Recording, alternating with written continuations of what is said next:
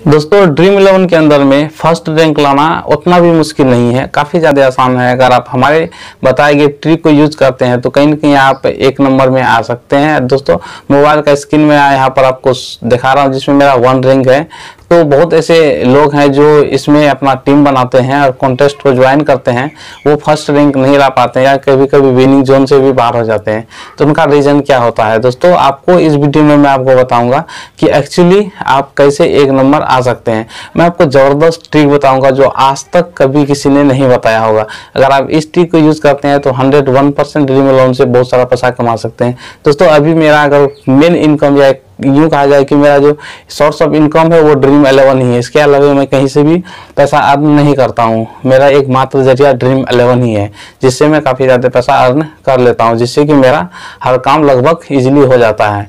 दोस्तों, आप भी अगर आसानी से ड्रीम लोन से पैसा कमाना चाहते हैं फ़र्स्ट रैंक लाना चाहते हैं तो बहुत ही आसानी से फ़र्स्ट रैंक ला सकते हैं। दोस्तों, चलते मोबाइल की स्क्रीन पर, आपको हम वो ट्रिक बताते हैं, वो तरीका बताते हैं कि कैसे आपको फ़र्स्ट रैंक लाना है और कैसे आपको वो टीम बनाना है, जिससे कि आपका टीम काफ़ी अच्छा परफॉर्मेंस करे। तो चलते हैं मोबाइल के स्क्रीन पर। दोस्तों, आप यहाँ पर देख सकते हैं कि मैंने लगभग हर मैच में विन करता हूँ। यहाँ पे देख सकते हैं कि आप, मैं किस तरह से डेढ़ सौ रुपया जीता हूँ, एक सौ पचहत्तर रुपया। कभी कभी दोस्तों एक दो मैच में मैं नहीं जी पा जीत पाता हूँ क्योंकि मैं ज़्यादा टीम को एक्सपेरिमेंट करने लगता हूँ इसीलिए। तो यहाँ पर दो सौ रुपये देख सकते हैं, यहाँ पर देख सकते हैं डेढ़ सौ रुपये।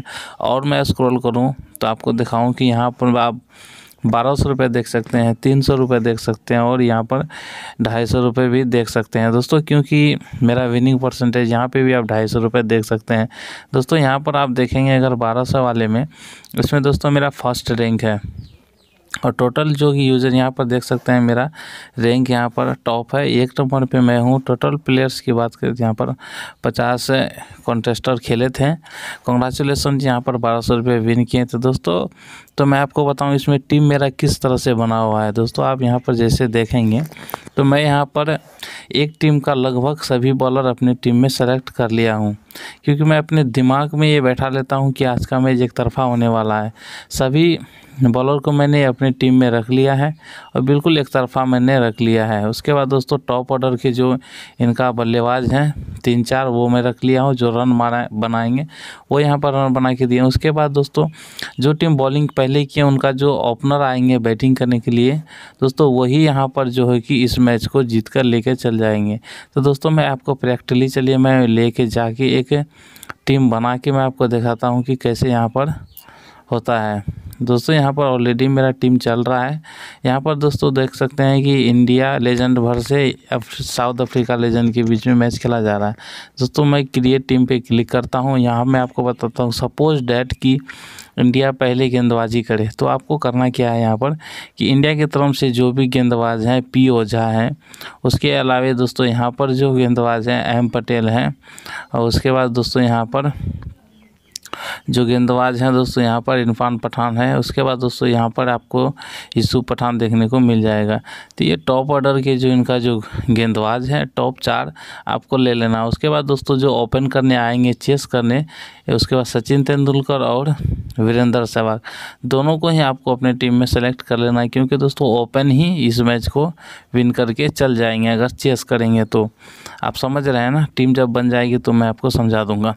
ठीक है? टीम सेलेक्ट हो गई। उसके बाद दोस्तों हम बात कर लेते हैं कि यहाँ पर आपको सेलेक्ट करना है, उन टॉप प्लेयर्स को छोड़ देना है। यहाँ पर एक विकेट कीपर ले लेते हैं हम, साउथ अफ्रीका की तरफ़ से।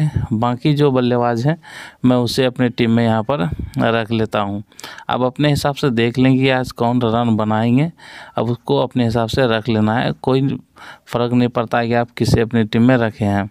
उसके बाद काफ़ी एक अच्छा गेंदबाज अपनी टीम में रख लेना। अब यहाँ पर कप्तान वाइस कप्तान की बात करें तो उसमें से कप्तान देख सकते हैं पच्चीस, कप्तान तैंतालीस परसेंट यहाँ पर वीरेंद्र सहवाग है और सचिन मात्र छः परसेंट है। तो आपको सचिन को रख लेना है, क्योंकि दोस्तों अगर ये रन बना के देंगे तो लगभग आधा टीम को पॉइंट मिलेगा और आप रैंकिंग वन नहीं लग पाएँगे। अगर ये रन बनाते हैं तो आपको छः परसेंट ही कंटेस्टर को पॉइंट मिलेगा। तो आप विंदर सेवा को वॉइस का पान रख रहे और कोशिश करें कि इस मैच में सचिन तेंदुलकर ही अच्छा खेलेंगे।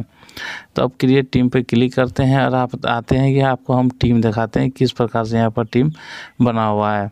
दोस्तों, यहाँ पर देख सकते हैं कि जो टॉप ऑर्डर बॉलिंग करने के लिए आएँगे, वो प्रॉपर तीन, चार गेंदबाज बॉलिंग करके यहाँ पर चल जाएँगे। उसके बाद सारा का सारा विकेट यहाँ पर साउथ अफ्रीका का गिरने वाला है, दस का दस। रन भी काफ़ी लो स्कोर यहाँ पर बनने वाला है। ये अपने दिमाग में रख के चलना। उसके बाद मान लीजिए सपोज़ कि एक सौ तीस रन बने तो वीरेंद्र सहवाग, सचिन तेंदुलकर और तीसरे नंबर में यूसुफ पठान आते हैं। ये तीनों टॉप ऑर्डर के जो हैं कि रन मारकर चेस कर लेंगे आसानी से एक दो ओवर रहते हुए। अगर एक हाथ विकेट गिरा भी तो हमारे मेन बॉलर ही विकेट लेंगे साउथ अफ्रीका की तरफ़ से। इस प्रकार से आपका रैंकिंग एक आना हंड्रेड परसेंट फिक्स रहता है। जैसा कि मैंने वन रैंकिंग वाला आपको दिखाया अभी। दोस्तों, आपको अपने दिमाग में खेल लेना है पहले कि आज का जो मैच है वो किस तरह से होगा और किस प्रकार से होगा। और कप्तान वाइस कप्तान काफ़ी इंपॉर्टेंट रहता है। दोस्तों, आपको इसलिए घबराना नहीं है कि आपका प्लेयर्स अगर पॉइंट नहीं देता है तो आपको टेंशन नहीं लेना है। लेकिन दोस्तों, अगर आपके अगेंस्ट टीम का भी प्लेयर्स अगर पॉइंट ले लेता है तो आपको प्रॉब्लम वाली बात है। मान लीजिए कि आप अलेवन स्टार लेकर टीम में बना लिए हैं, आप ग्यारह ग्यारह खिलाड़ी लेके हैं टीम में, लेकिन उसमें से दो प्लेयर्स अगर पॉइंट आपको नहीं देते हैं तो आपको कोई भी दिक्कत नहीं है। क्योंकि आपको पॉइंट नहीं दिए, किसी और को भी तो पॉइंट नहीं मिला होगा। लेकिन जिस प्लेयर्स को आप नहीं लिए हैं, वो अगर पॉइंट ले लेता है तो आप सोच सकते हैं कि आपका जो सामने वाले कंटेस्टर हैं, उनको पॉइंट मिल गया। अगर आपको पॉइंट नहीं मिला तो किसी को नहीं मिलना चाहिए। ठीक है? तो आपका प्लेयर अगर अच्छा नहीं खेले तो आपको दुख नहीं होना चाहिए, लेकिन किसी और का प्लेयर अच्छा नहीं खेले। आपको इस हिसाब से अपने टीम में बनाना। मान सपोज़ दीजिए कि आपके टीम में अगर सचिन तेंदुलकर है, और वो अगर पॉइंट आपको नहीं दिया तो कोई दिक्कत नहीं है। लेकिन आप जिसे नहीं लिए हैं, युवराज सिंह को नहीं लिए हैं, वो अगर पॉइंट ले लेता है तो कोई और आगे चला जाएगा। आपका प्लेयर्स अगर पॉइंट नहीं देता है तो आप पीछे नहीं जाएँगे, क्योंकि आपका प्लेयर्स पॉइंट नहीं दिया है। कोई दिक्कत नहीं है। लेकिन किसी और का प्लस पॉइंट ले लेता है तो आप पीछे हंड्रेड परसेंट हो जाएँगे। दोस्तों फ़र्स्ट रैंक लाने के लिए आपको बिल्कुल एक तरफा टीम बनाना होगा।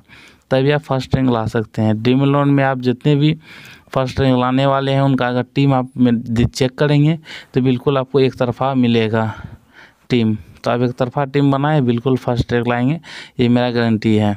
तो मिलते हैं नेक्स्ट वीडियो में, धन्यवाद।